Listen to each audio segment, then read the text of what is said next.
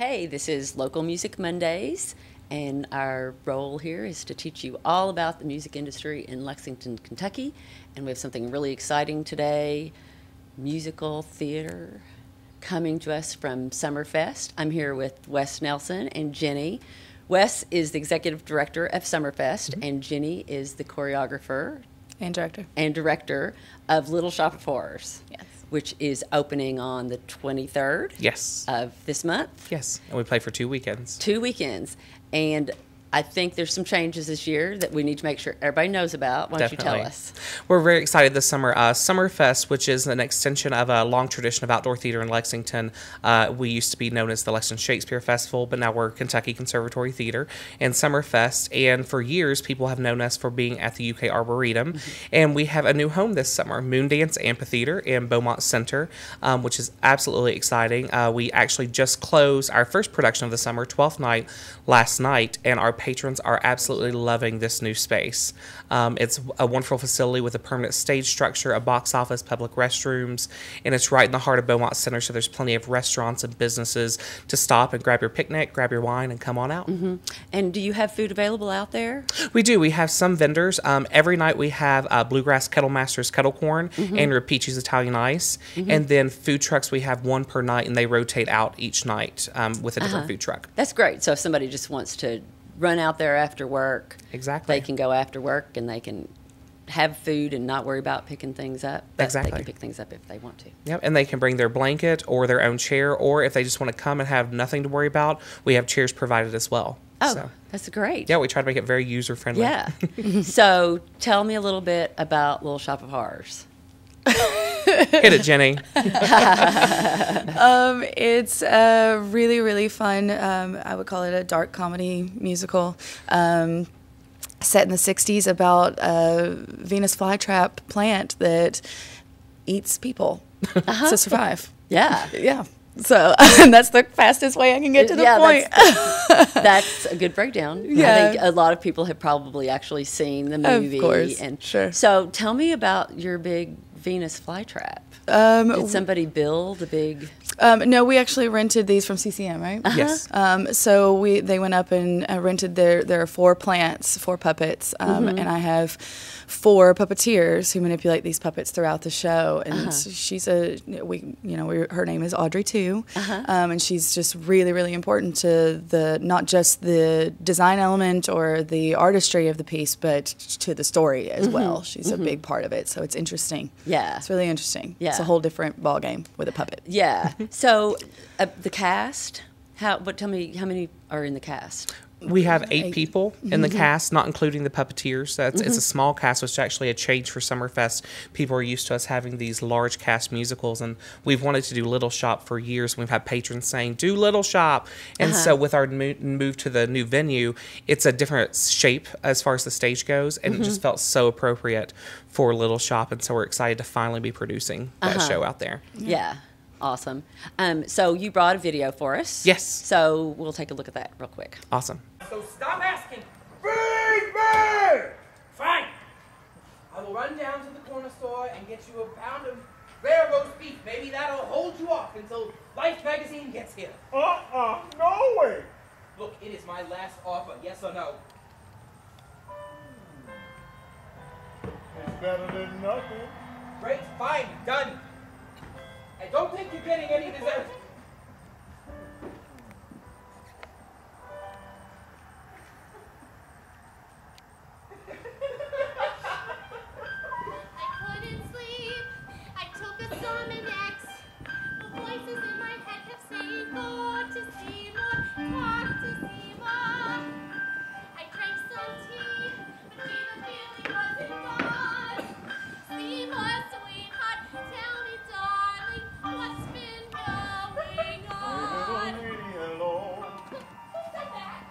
Looking cute as can be. Is somebody in there? You're looking mighty sweet. Seymour, Seymour. No, it ain't Seymour. It's me. Oh my God! Your friendly Audrey II.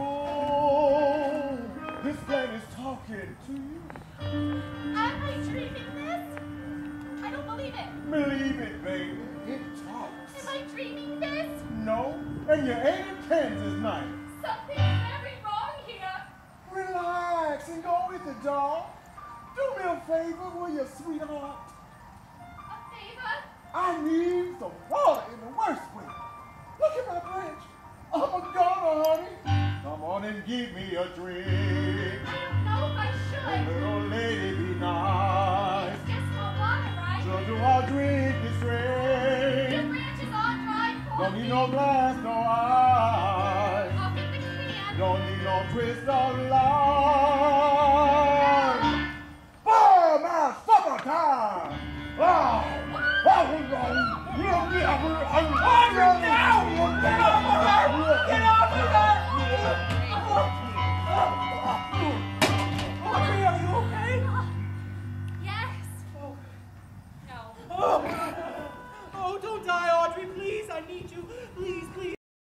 So, um, so tell me about what we just saw. So we've been rehearsing at Blackbird Dance Theater. They have a new studio space just off of Nicholasville Road, and that's where we've been rehearsing our shows. So the cast at this point, you've been rehearsing for three and a half weeks, mm-hmm. and so this is the last step before we move to the stage at Moon mm-hmm. Dance Amphitheater. The cast at this point have all their prop pieces. The plant, obviously, as you uh-huh. saw, um, is there in the studio space as well. So that's kind of where they put the show together and put every get everything ready before they move out to the big set. Uh huh. Neat. Yeah. Uh, so just they just been working for three weeks. Yeah. Well, that's pretty amazing. Yeah, we've been pushing really, really fast. Yeah. Yeah. Just an example of how great our artists are. Oh, the local town. talent here in Lexington is You know, fantastic. Yeah, that they can really. My jump cast in is and- very, very talented, Uh-huh. and most of them have been in several shows. This is not their first rodeo, so Mm-hmm. we've been we've been because of that we've been able to go quickly. Yeah. Do you want to tell me about specific people in the cast? Sure, there's some familiar faces Uh-huh. to Lexington Theater. Um, Whit Whitaker, who has done tons of Summerfest shows, but also Yeah. a Grand Night for singing. Whit pops up all over the place if you need fabulous singing. Mm-hmm. Um, Whit is actually the voice of the plant. He's the voice of Audrey II. That makes sense. Exactly. yes. so Whit has I the can't wait. yeah, Whit has the diva role. He gets to sit backstage with a microphone and just sing and talk. It's it's fabulous. So Uh-huh.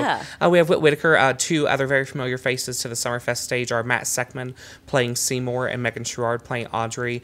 Two very seasoned veterans of musical theater here in town. So Mm-hmm. uh, Jacob Carnes playing mister Mushnik. So a lot of very familiar faces. Um, and then as well, we're very proud. We have one of our the show's also known for the Doo Wop Girls. There's a, a kind of a Greek chorus almost of Yes. three urchins, and one of them is played by a student at SCAPA named Elise Parker, and she is just now going to be a freshman in high school, and came in and auditioned against all of these adults and just killed it. Uh-huh. And so she's our baby in the cast. And she's going to be one to watch over the coming years, I guess. Absolutely. Yeah. Absolutely. Yeah. So you mentioned Blackbird Yes. dance. So tell us about that. Oh, cool. I like to hear all the things. you know, Definitely. I will because definitely it's talk about very that. rare. It's very rare that I have anyone in here who just does one thing. Right. Right. It right. seems like we have a, a community of multi-talented Yes. folks. So let's hear Yes. about your dance group. Um, we are brand new. Um, just opened our doors in March. The studio just opened in June, um, the physical spot. But um, it's just a jazz and contemporary dance company.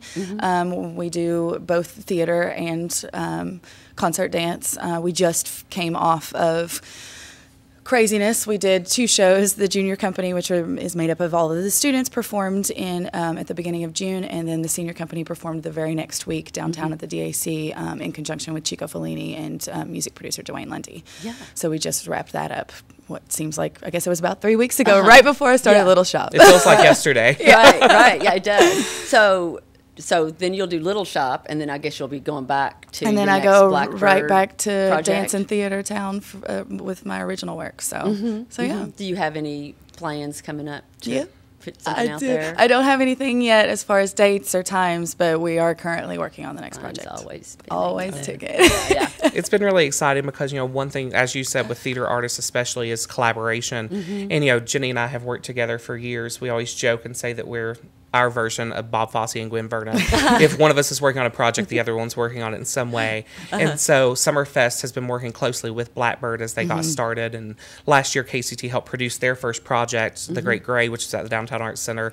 And so it's been great kind of helping them get started. And now that they have their own space and their own business, mm-hmm. they're actually providing space for us to rehearse our shows and office space where she and I work together in the Yeah. facility. So it's That's really great. that just uh, Both are all happening. of those kinds that kinds of wonderful collaboration and sharing. I think that that's just so much part of the chemistry of what's what makes Lexington art community, and whether you're talking visual arts or performing mm-hmm. arts, so special. Yeah. Is that people really enjoy working together, and I know you do more than just Summerfest. Also, Yes, yeah, I guest direct in town uh, for several different theaters. Um, Summerfest um, over the past few years have kind of we've ventured outside of the summer season with some other fall and uh, spring productions, uh, such as Spring Awakening that we worked on together.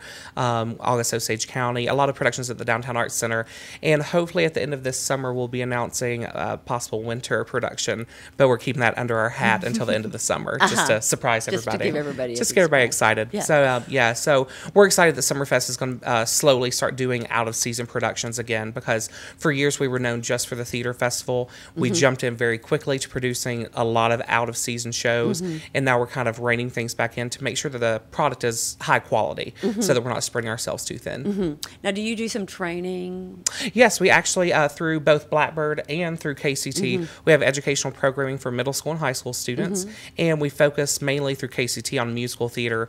Um, we were actually really excited um, moving to Moondance this summer. It was a new chapter in our history, Mm-hmm. and the very first performers who performed representing us on that stage were our students, Uh-huh. and so it was really special to have the kids kick it off for us. Um, we had a two-week summer intensive with uh, middle school and high school students, and they performed Aida Junior, Mm-hmm. um, which there's a series of Broadway shows that kind of get condensed and make it more uh, kid friendly. Uh-huh. And so they actually opened for 12th night for two nights on the main stage. So they were actually the first representatives from our theater to kick off our new home at Moondance. Yeah, awesome. Yeah.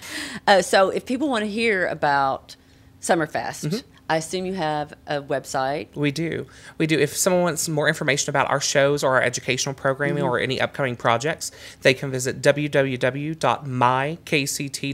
That's M Y kct.org. Mm-hmm. And it's a very user friendly website. And you can click through the conservatory, which is our education section, Summerfest, and then there will be another project section as well. And there's also a link on our website to Blackbird Dance Theater if they would like to find out more information about them that kind of directs you straight to their website. And you can purchase tickets on the website or get more information.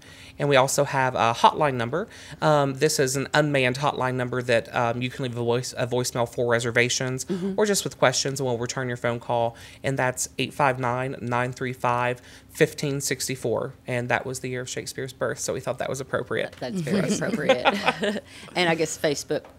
Definitely, yeah. We all live. The world lives by Facebook anymore. So uh, we actually have um, a great Facebook page where we update everything on there. Sometimes we'll do ticketing contests for people to reply to things to win free tickets to Little Shop of Horrors. So it's a great way to find out about what we're doing. Do they need to like uh, Summerfest or Casey?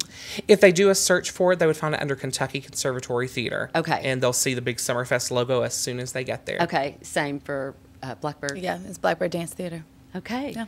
Well, I know you guys are really busy because you're trying to break down a show and set Yes. up another show. Yes, ma'am. and you have, uh, uh, do you have other jobs besides? I have a class. I actually have an intensive class at one o'clock, and in Yeah. about an hour or so, I've got to dance for a little while. So, yeah, busy, busy. And she actually just brought in a guest artist from Chicago, Don Triel, who just spent a week with kids and adults teaching hip hop and stomp classes. So it's been oh, very entertaining to be in the office and watch the kids Yeah. just doing all this stomp. It's yeah. been really incredible. So Blackbird, does it also have a website? Yeah, so uh, we're, I guess it's, we're an offshoot of KCT. So if you go to the mykct.org, you'll find You'll it. and find it'll it take there. you straight to us. Okay. Well, thank you guys so much for Thank taking you. time out of your busy schedule to come down and talk to us.